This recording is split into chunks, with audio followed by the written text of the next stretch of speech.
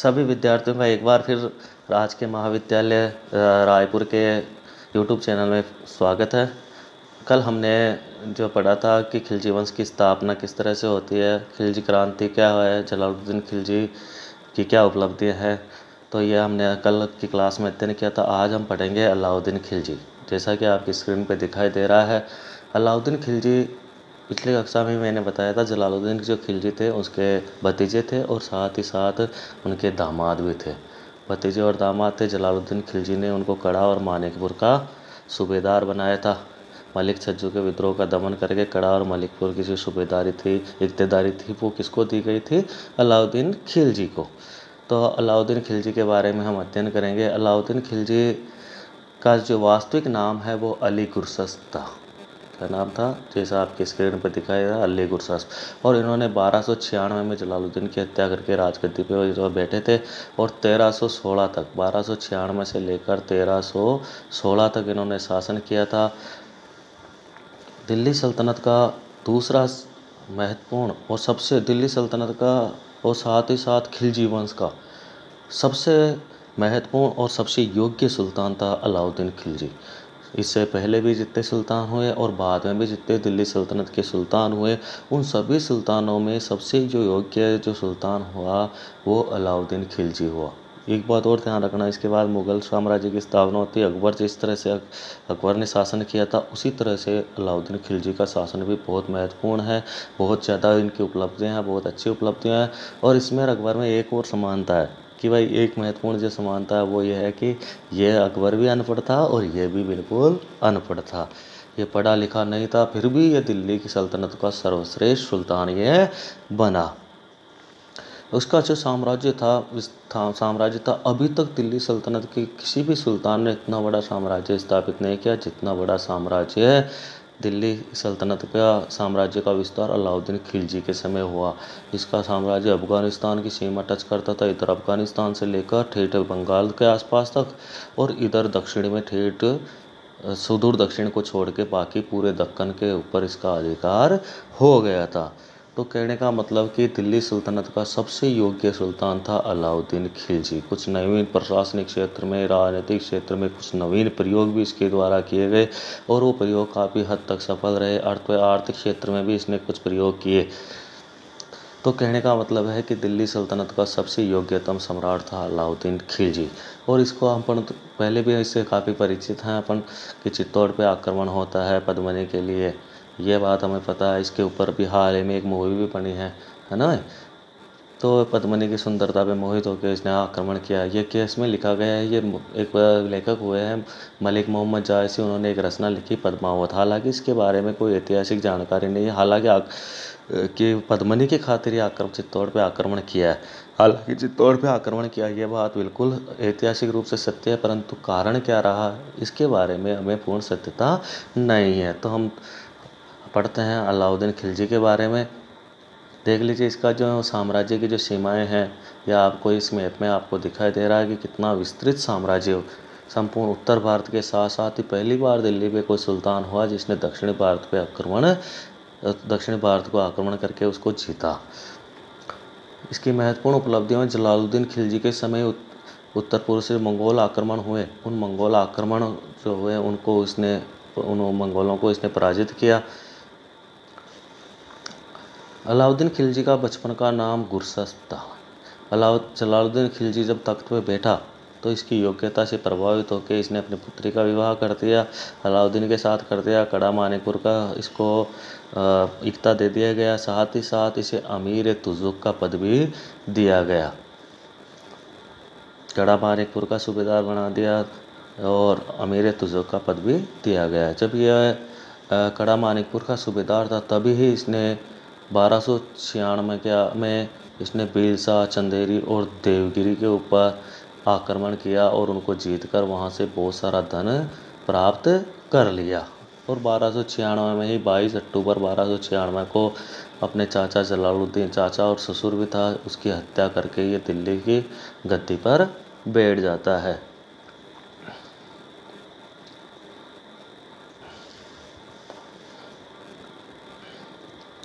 और 22 अक्टूबर को ही अपना राज्याभिषेक भी संपन्न करवाता है। निर्माण कार्य, अलाउद्दीन का निर्माण में भी रुचि थी, कुछ निर्माण कार्य उसने कराए। अलाउद्दीन के दरबार में अमीर खुसरो, हसन निजामी जैसे उच्च कोटि के विद्वान रहते थे। स्थापत्य कला के क्षेत्र में खिलजी ने वर्ताकार अलाई दरवाज़ा, देखो महत्वपूर्ण निर्माण जो इसने कराए अलाई दरवाज़ा कुछ के शिकार का निर्माण कराया। इसके अलावा उसने सीरी के किले में हज़ार खंबा महल का निर्माण भी इसके द्वारा कराया गया। अलाउद्दीन खिलजी की शासन व्यवस्था। जैसे ही अपना राज्याभिषेक यह करवाता, राज्याभिषेक कराने के बाद में महत्वपूर्ण बात है कि इसने एक नवी एक उपाधि धारण की जिसको कहते हैं सिकंदर द्वितीय या सिकंदर सानी सिकंदर द्वितीय या सिकंदर सानी और इस उपाधि को उसने अपने आप को सिकंदर के समकक्ष बनाने का प्रयास किया। और उसने, उसका जो मुख्य लक्ष्य था, वो पूरे विश्व पर विजय प्राप्त करना था। उसने अपना लक्ष्य घोषित किया कि मैं पूरे विश्व पर विजय प्राप्त करूँगा। जिस तरह सिकंदर ने विजय प्राप्त की थी, उसी तरह मैं भी पूरे विश्व के ऊपर अधिकार करूँगा। इसलिए उसने द्वितीय सिकंदर की उपाधि धारण की, या सिकंदर सानी की उपाधि धारण की। परंतु इसका एक मित्र था अलाउल मुल्क। जो दिल्ली का कोतवाल था, उसने इनको समझाया कि हर कोई व्यक्ति सिकंदर नहीं बन सकता। और आपको अगर सिकंदर की तरह विश्व विजेता ही बनना है तो पहले आप पहले पूरे भारत को विजय करें। तो इसने पूरे विश्व विजय का जो लक्ष्य था उसको त्याग दिया और भारत विजय के लक, जो लक्ष्य है उसने अपना जीवन का लक्ष्य बनाया कि मैं पूरे भारत पे विजय प्राप्त करूँगा। यद्यपि अलाउद्दीन खिलजी ने खलीफा की सत्ता को मान्यता प्रदान करते हुए यामीन उल खिलाफत नासिर अमीर उल मोमिन की उपाधि धारण की। उसने खलीफा के आधिपत्य को स्वीकार किया। हमने पिछले पहले कक्षाओं में भी पढ़ा है कि इस समय जो मुस्लिम जहाँ जहाँ भी मुस्लिम शासन व्यवस्था थी, वो सभी खलीफा को अपना राजनीतिक और धार्मिक प्रमुख मानते थे और उनसे मान्यता ग्रहण करते थे। अभी तक ये मान्यता थी कि जहाँ जहाँ भी मुस्लिम साम्राज्य स्थापित है पूरे विश्व में उसका प्रमुख कौन होता है? खलीफा। तो इसने खलीफा से मान्यता प्राप्त की और खली एक उपाधि धारण की यामू, यामीन उल खिलाफत, नासिर, अमीर उल मोमिन और खलीफा से अपने पद की स्वीकृति लेनी आवश्यक नहीं समझी कि उसने खलीफा को मान्यता तो दी, परंतु जिस तरह इल्तुतमिश ने खलीफा से मान्यता प्राप्त की, उस तरह से मान्यता प्राप्त करने का इसने कोई प्रयास नहीं किया। क्योंकि वो, जब मैंने बताया था अभी खिलजी क्रांति, पिछले कक्षा में खिलजी क्रांति में मेन एक महत्वपूर्ण परिवर्तन था कि राजनीति से धर्म का हस्तक्षेप खत्म कर दिया गया। तो इसी नीति पे चलते हुए अलाउद्दीन खिलजी ने जो धार्मिक वर्ग था, जिसको उल्लेमा वर्ग भी कहते हैं उनका शासन में हस्तक्षेप इसने बिल्कुल कम कर दिया। उसने कहा कि राजनीति अलग मामला है और धर्म अलग मामला, दोनों चीज़ें अलग अलग होनी चाहिए। और उसने कहा कि राज्य हित में जो राजा या सुल्तान जो निर्णय करता है, चाहे वो धर्म में सही हो या नहीं हो, वही मान्य होगा। इसलिए इसने धर्म को एक तरह से राजनीति में हस्तक्षेप करने से मना कर दिया। और राजनीति को एक अलग विषय इसने बताया। सुल्तान बनते ही इसके मन में एक सबसे महत्वपूर्ण जो विचार आया कि अभी तक जितने भी सुल्तान हुए हैं पूर्वकालीन, जितने भी सुल्तान हुए सबके समय में कोई ना कोई विद्रोह होता।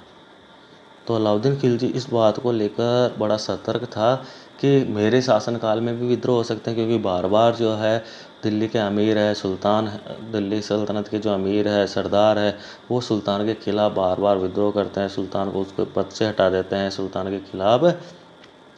बार बार विद्रोह करते हैं तो उस विद्रोह का दमन करने के लिए इसने कुछ कानून बनाए, कुछ नियम बनाए, ताकि सुल्तान के खिलाफ कभी कोई विद्रोह नहीं हुए। इसका जो विचार है यह विचार कब आया? जब अलाउद्दीन खिलजी ने, है ना, बारह सौ निन्यानवे में गुजरात जीतने के लिए जाता है। और गुजरात जीतते कर वापस जब आते हैं तो नवीन मुसलमानों के द्वारा उसके खिलाफ विद्रोह कर दिया जाता है। नवीन मुसलमान कौन है भाई? अभी पिछली कक्षा में हमने पढ़ा, जलालुद्दीन खिलजी के समय में जो मंगोल आक्रमणकारी भारत आए थे, आक्रमण किया था, उसमें वो पराजित हो गए, संधि हुई और कुछ मंगोल, उल्लू खां के नेतृत्व में दिल्ली में रह गए थे। उनको क्या कहा गया? मंगो, नवीन मुसलमान। तो ये नवीन मुसलमान भी गुजरात विजय के समय साथ जाते हैं। और वहाँ से लूट का माल जब लेके आते हैं तो रास्ते में ये नवीन मुसलमान अलाउद्दीन के खिलाफ विद्रोह कर देते हैं और लूट का माल लेकर भाग जाते हैं। और ये जो नुसरत खां है, ये नवीन मुसलमानों का प्रमुख था। और ये बाद में नुसरत खां और मोहम्मद खां। और सॉरी, मोहम्मद, इस विद्रोह का दमन इसने नुसरत खां ने किया। और विद्रोही का जो नाम था, वो था मोहम्मद खां। और वो मोहम्मद खां कहाँ चला जाता है सीधा चला जाता है रणथम्बोर और बाद में यही एक प्रमुख, एक कारण बनता है रणथम्बोर पे अलाउद्दीन के आक्रमण का। तो ये नवीन मुसलमानों ने विद्रोह कर दिया। तो इससे अलाउद्दीन बड़े चिंतित हुआ। उसने कहा कि ये जो बार बार विद्रोह होते हैं तो इसका कुछ हल निकाला जाना चाहिए। एक विद्रोह हो गया, दूसरा इसी के समय एक और विद्रोह होता है कि अलाउद्दीन की बहन का लड़का था मलिक उमर और मंगू खां। इन्होंने भी इन पर भी इन दोनों को हराकर उसकी हत्या कर दी। इन्होंने भी विद्रोह किया। चौथा विद्रोह था दिल्ली के हाजी मौला का विद्रोह। इसको भी इन्होंने समाप्त किया। तो बार बार जो ये विद्रोह हो रहे थे तो इनसे परेशान हो गया अलाउद्दीन और उसने चार अध्यादेश जारी किए। इन विद्रोहों का दमन करने के लिए चार अध्यादेश जारी किए गए। प्रथम अध्यादेश के अंतर्गत अलाउद्दीन ने दान, उपहार और पेंशन के रूप में अमीरों को दी गई भूमि जब्त कर ली गई। क्योंकि ये अमीर जब पैसे वाले हो जाते हैं तो ये सुल्तान के खिलाफ सेना जुटा के सुल्तान के खिलाफ विद्रोह कर देते हैं। तो पहला इनके धन की कमी कर दी गई। दूसरा अध्यादेश के अंतर्गत अलाउद्दीन ने गुप्तचर विभाग को संगठित किया। एक गुप्तचर विभाग जैसे आजकल सी I D C B I होती है ना, वैसा एक विभाग बनाया और गुप्तचरों को उस समय बरीद कहते हैं। और गुप्तचरों का जो प्रमुख होता था, बरीद ममालिक कहलाता था। जो गुप्तचर विभाग का हेड होता था, वो बरी, बरीद ममालिक कहलाता था। तो ये बरीद और मुनिहीन, ये गुप्तचर अधिकारी थे, इनकी नियुक्ति की गई। तीसरा अध्यादेश के अंतर्गत, तीसरा एक ऑर्डर निकाला। तीसरे ऑर्डर के अंतर्गत क्या किया? अलाउद्दीन खिलजी ने मद निषेध।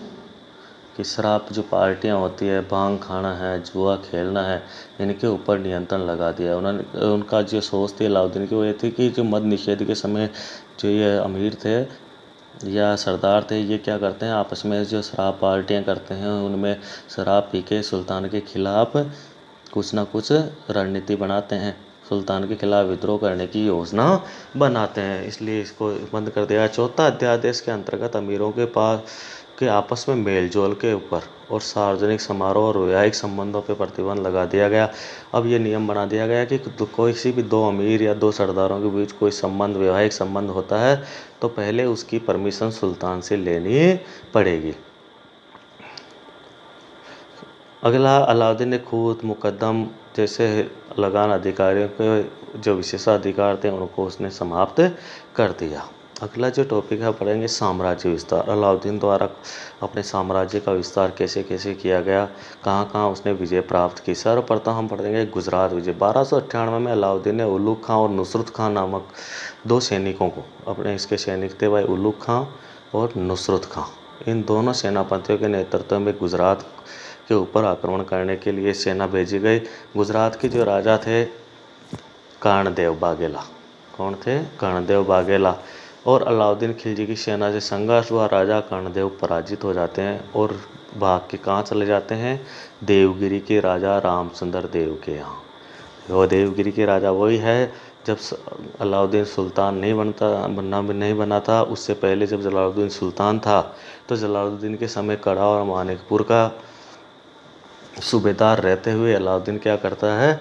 देवगिरी के ऊपर आक्रमण करता है। तो गुजरात के जो कर्णदेव बघेला है, वो यहाँ से पराजित होकर कहाँ चले जाते हैं? अपनी पुत्री को लेकर, अपने पुत्री को लेकर ये चले जाते हैं देवगिरी। और देवगिरी चले जाते हैं। इसके पश्चात अलाउद्दीन, सूरज, सोमनाथ और केम्बे।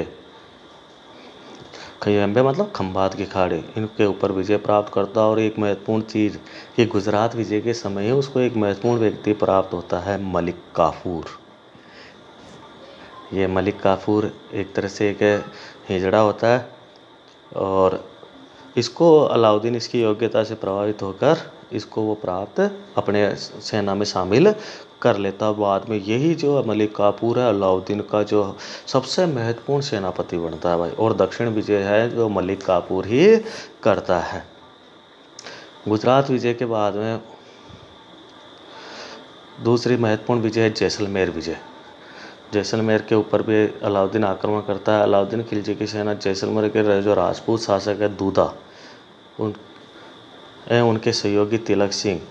इनको बारह सौ निन्यानवे में पराजित करता है। तीसरी जो महत्वपूर्ण विजय है रणथंबोर विजय। जैसा कि मैंने बताया था, नवीन मुसलमानों ने जब गुजरात विजय के समय विद्रोह किया तो गुजरात विजय की विरोध, विद्रोह करते, करने के बाद विद्रोह विद्रोह का दमन हो गया। परंतु जो नवीन मुसलमानों का एक नेता था महमूद खान, वो कहाँ चला गया? रणथंबोर और रणथंबोर को जीतना इसलिए भी ज़रूरी था अलाउद्दीन खिलजी के लिए। पहला तो इन्होंने विद्रोहियों को शरण दे दी, दूसरा इसलिए कि इसको जलालुद्दीन खिलजी नहीं जीत पाया था। तो उस जो अधूरी जीत थी, उसको पूरा करना था। तीसरी बात कि रणथंबोर दिल्ली के बिल्कुल पास में था और एक मज़बूत दुर्ग था। और यहाँ के जो इस समय राजा थे हमीर देव, वो धीरे धीरे शक्तिशाली होते जा रहे थे। इसलिए अलाउद्दीन को लगा कि उत्तर भारत पर अधिकार करने के लिए रणथंबोर पे अधिकार करना आवश्यक है। इसलिए अलाउद्दीन खिलजी ने क्या किया रणथंबोर के ऊपर आक्रमण किया? 1301 में। कब आक्रमण किया? 1301 में। तो 1301 में जब अलाउद्दीन रणथंबोर पे आक्रमण करता तो यहाँ का जो सुल्तान होता राजा होता है, हमीरदेव होता है देखो, आक्रमण के जो कारण मैंने पहले ही बता दिया, आपको पहला कारण था कि विद्रोही जो मंगोल नेता है, मोहम्मद शाह, उसको और केहब, इनको यहाँ शरण दी गई थी।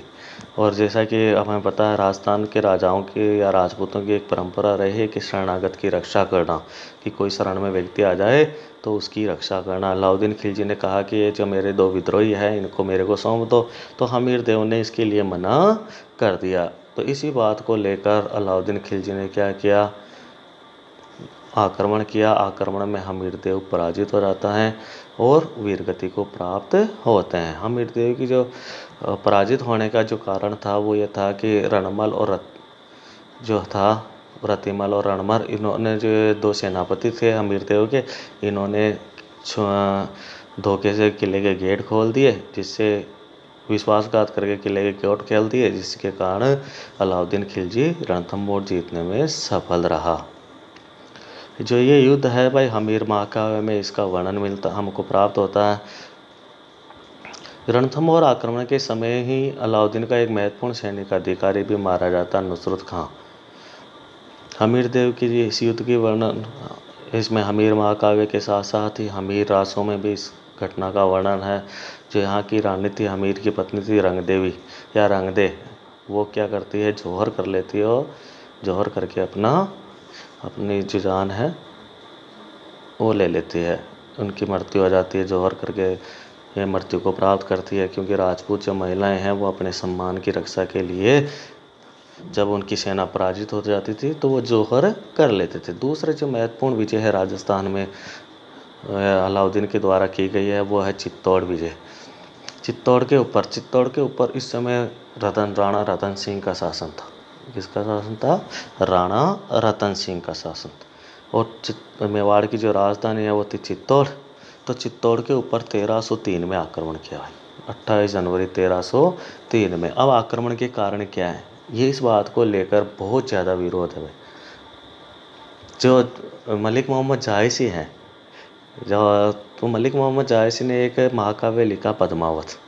और पद्मावत में उसने लिखा कि अलाउद्दीन खिलजी ने पद्मनी की जो सुंदरता है, उससे प्रभावित होकर चित्तौड़ के ऊपर आक्रमण किया। परंतु इस घट को, चीज़ को केवल ऐतिहासिक नहीं माना जा सकता।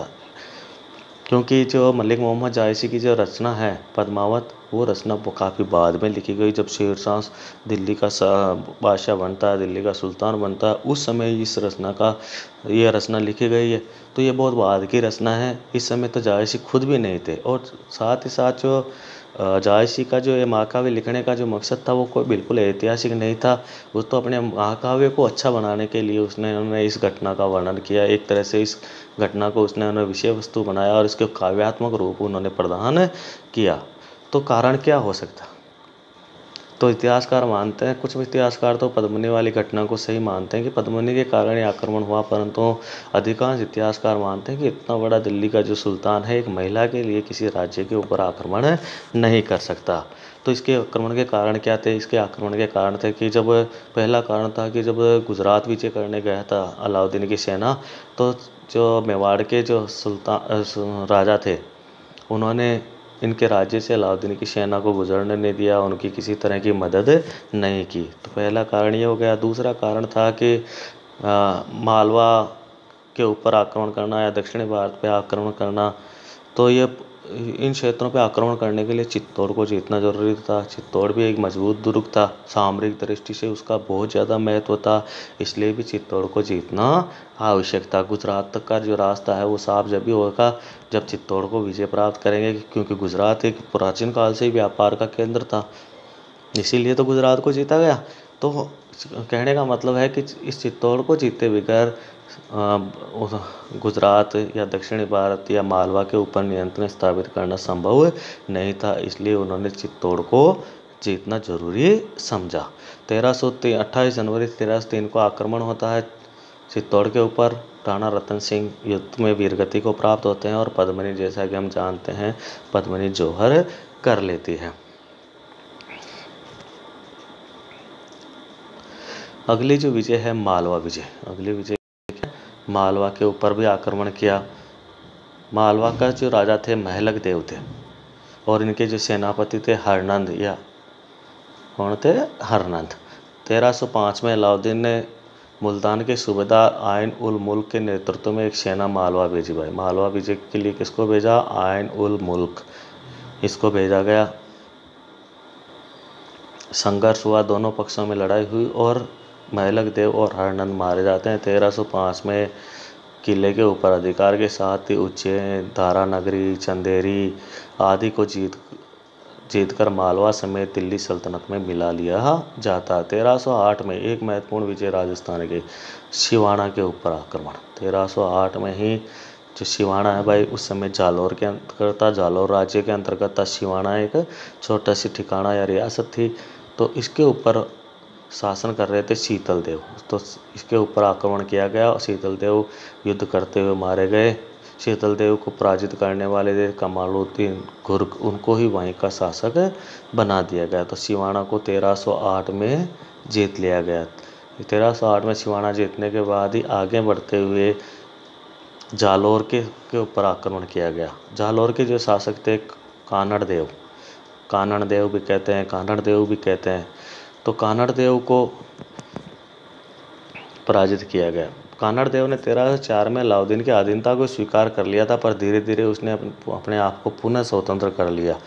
तो अलाउद्दीन ने ने तेरह सौ ग्यारह में कमालुद्दीन गुरुक के नेतृत्व में सुल्तान की सेना ने सुल्तान की सेना कानड़ देव के ऊपर आक्रमण करती है। तो तेरह आक्रमण कब होता है? जालौर के ऊपर तेरह सौ ग्यारह में किसके नेतृत्व में होता है? कमालुद्दीन गुर्ग के नेतृत्व में। और साथ ही साथ इसके ऊपर विजय प्राप्त कर लेता तेरह सौ ग्यारह में ही। नेपाल, कश्मीर, असम ही ऐसे भाग बचे थे जिनके ऊपर अलाउद्दीन का अधिकार नहीं था। लगभग लगभग सब भारत के संपूर्ण क्षेत्र पे इसने अधिकार, उत्तर भारत के संपूर्ण क्षेत्र पे अधिकार कर लिया था। अब महत्वपूर्ण है दक्षिण विजय। उत्तर भारत की जब विजय संपन्न हो गई तो उसके बाद अलाउद्दीन खिलजी ने दक्षिण भारत के ऊपर विजय प्राप्त की। तो अलाउद्दीन खिलजी की जो दक्षिण विजय हैं, वो हम पढ़ लेते हैं। दक्षिण विजय के अंतर्गत उसने के जो राज्य थे, और मैंने पहले भी बताया था आपको कि दक्षिण भारत को जो जीतने वाला था, वो जीतने वाला व्यक्ति कौन था? मलिक काफूर जो उसको कहाँ मिला था? गुजरात में। दक्षिण भारत में इस समय तीन महत्वपूर्ण शक्तियाँ थी भाई देवगिरी के यादव तेलंगाना के कातकीय और तीसरा है द्वार समुद्र के हो, होशेल। ये तीन दक्षिण में तीन महत्वपूर्ण राज्य थे और इन तीनों राज्यों को अलाउद्दीन खिलजी के द्वारा जीता गया। दक्षिण विजय के पीछे क्या कारण था? वही पहला कारण तो धन की चाह, क्योंकि दक्षिण भारत बहुत संपन्न था। दूसरा व्यापारिक कारण। दूसरा कारण क्या? धन प्राप्त करना, साथ ही साथ दक्षिण भारत में समुद्री बंदरगाह थे। तो व्यापारिक दृष्टि से दक्षिण भारत संपन्न था अगर इसको जीतता अलाउद्दीन खिलजी तो दिल्ली सल्तनत के जो व्यापार है, वो उसमें वृद्धि होती है और उससे अधिक राजस्व सुल्तान को प्राप्त होता है। तीसरी बात कि साम्राज्यवादी था। अलाउद्दीन खिलजी साम्राज्यवादी शासक था। वो अपने साम्राज्य का ज़्यादा से ज़्यादा विस्तार करना चाहता था। चौथा कारण कि उसने दक्षिण के एक राज्य देवगिरी पे तो जब वो सुल्तान नहीं था तभी विजय प्राप्त कर ली थी, इसलिए वो दक्षिण भारत की परिस्थितियों से परिचित भी था। अगला कारण एक ये भी था कि इस्लाम का दक्षिण भारत में प्रचार प्रसार करना भी एक कारण था। तो कहने का मतलब है कि इन सारे कारणों को की वजह से अलाउद्दीन दक्षिणी विजय का निर्णय करता है। और दक्षिण विजय के ये तीनों राज्य हैं, तीनों राज्यों के ऊपर वो विजय प्राप्त करता है। और यहीं दक्षिण भारत में ही अलाउद्दीन खिलजी को कोहिनूर का हीरा प्राप्त होता है। दक्षिण भारत में पहली जो विजय है, वो विजय है देवगिरी की विजय। कौन सी विजय? देवगिरी की विजय, जैसा कि हमें पता है, देवगिरी को बारह में जीत लिया था। बाद में उसके ऊपर और नियंत्रण निरंतर आक्रमण किया गया। और देवगिरी का जो राजा था, इस समय रामचंद्र देव थे और उनके पुत्र थे शंकर देव। रामचंद्र देव और शंकर देव। तो इनको पहले जीत लिया था। तो जीतने के बाद इन्होंने ये स्वीकार किया था रामचंद्र देव ने कि भाई हम नियमित रूप से राजस्व या वार्षिक कर दिल्ली के सुल्तान को भेजते रहेंगे। परंतु इन्होंने यह भेजना बंद कर दिया। तो मलिक काफूर के नेतृत्व में दक्षिण विजय के लिए सेना भेजी गई। सबसे पहले देवगिरी के ऊपर आक्रमण किया गया। राजा कर्ण परास्त हो गया। राजा कर्ण सॉरी रास्ते में राजा कर्ण को युद्ध में परास्त कर कापूर ने उसकी पुत्री देवल देवी को भी, जो कमला देवी एवं कर्ण की पुत्री थी। देखिए भाई, गुजरात के राजा थे ना कर्णदेव? तो ये कर्णदेव देवगिरी से ले गए थे? किसको लेके? अपनी पुत्री देवल देवी को। किसको लेके? देवल देवी को। और इनकी जो पत्नी थी कमला देवी, इसको तो हालाँकि गुजरात विजय के समय पकड़ लिया गया था और बाद में अलाउद्दीन खिलजी इनसे विवाह कर लेते हैं। तो ये देवल देवी थी, इनको पकड़ लिया गया, कर्णदेव को और इनको पराजित करके इसको पकड़ लिया गया और इसको दिल्ली भेज दिया गया और जो अलाउद्दीन खिलजी के पुत्र थे खिजर खां, उनके साथ इनका विवाह कर दिया गया। देवगिरी पहुँचते हैं देवगिरी पर आक्रमण किया, भयानक लूटपाट की, राजा रामचंद्र देव ने आत्मसमर्पण कर दिया। बहुत सारे धन यहाँ से प्राप्त होता है, बहुत सारी हाथी घोड़े और धन यहाँ से प्राप्त करके वापस दिल्ली आता है। साथ ही साथ रामचंद्र देव को भी लाया जाता है और रामचंद्र देव को सुल्तान के सामने प्रस्तुत किया जाता है। सुल्तान, इस समय सुल्तान ने बड़ी चालाकी और उदारता का परिचय दिया कि उसने रामचंद्र देव को कुछ नहीं कहा और उनके साथ उदारता का व्यवहार करते हुए राय, रायन की उपाधि रामचंद्र देव को दी। अब इसके पीछे कारण क्या था? अलाउद्दीन खिलजी ये बात जानता था कि अगर मुझे दक्षिणी भारत जीतना है तो दक्षिणी भारत के किसी एक राजा का सहयोग मुझे प्राप्त होना चाहिए। तो उसने क्या किया? इसको जीतने के बावजूद भी रामचंद्र देव का अपने दरबार में सम्मान करता है और उसको राय रायन की उपाधि प्रदान करता है। साथ ही गुजरात की जो एक नवसारी नामक स्थान है, नवसारी की जागीर और एक लाख रुपए देकर वापस भेज देता है। और साथ ही साथ ये इससे वादा लेता है कि दक्षिण विजय में वो अलाउद्दीन की सेना की मदद करेगा और निरंतर राजस्व देता रहेगा।